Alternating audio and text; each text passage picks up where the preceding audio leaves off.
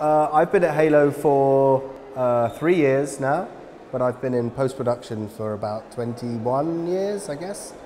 Uh, and um, yeah, I've just worked mainly in Soho in London as a, a runner, to a producer, uh, into sales, and then into my commercial director role. Uh, and that's where I am. That's what I'm doing now at Halo. I'm commercial director, so my boss would have, have you believe that I maximise profitability within our industry. Um, but uh, I'd like to think that um, uh, we, we like to go after an eclectic mix of, uh, of different types of work. Halo's an independent, one of the last independent post houses in London, and um, we do a bit of everything, and I think that's what makes us special. Yeah, I've been at Halo for seven years now. I've been in post production for 25 years, um, and I sort of mainly look after the film and the drama side of things at Halo. Well, my my role is head of film, um, and so I I kind of help develop the commercial side of the film and the drama work that we do but I also I've come from a technical background, so I, I also help to sort of manage some of the projects as they go through.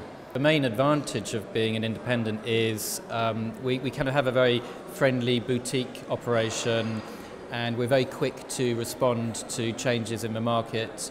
So if we need to buy some new equipment or we need to sort of look at a new type of work, you know, VR or whatever the latest thing is, we can be very quick to respond to that.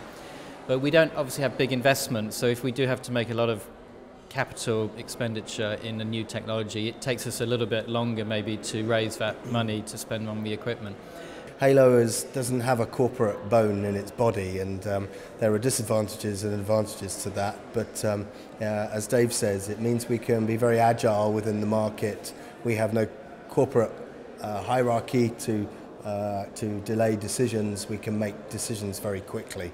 But creatively, we're bringing a lot to the table in terms of sound design and mixing, visual effects, um, grading, um, and it's as you'll see from our masterclass tomorrow. You know, the before and after is quite staggering, actually.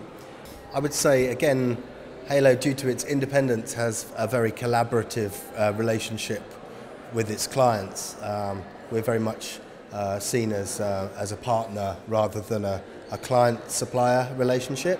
So uh, I think our clients feel comfortable to invite us into the uh, into that kind of ideas uh, arena. Uh, the film festivals we really try and, and get to.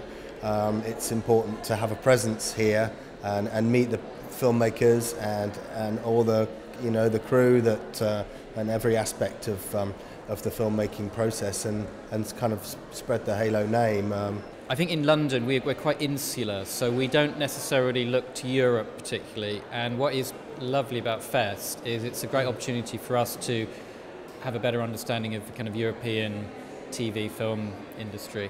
London is very busy at the moment, and there's a lot of growth in film production, TV production, particularly with a lot of inward investment from America, like Netflix and Amazon. They're coming to London. And so that's making everybody much more busy. Um, so there's a lack of skill, there's actually a shortage of skills at the moment, I would say, in London. So we're kind of, it's very important for us to recruit runners and young students who we can train up into both technical and creative areas within post production.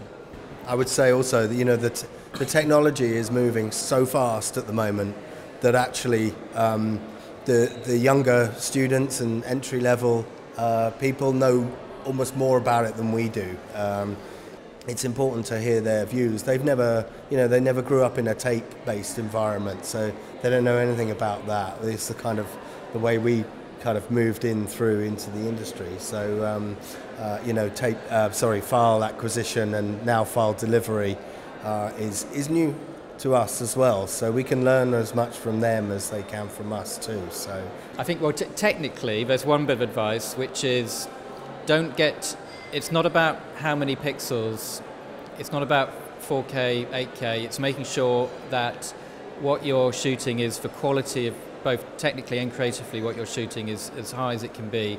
On a technical level, that's about not compressing the signal too much, using um, good quality codecs, but also it's about creatively, it's about thinking about what you're going to shoot before you shoot it. So you're not shooting hours and hours of 8K footage, you know, which then causes us a problem in post production.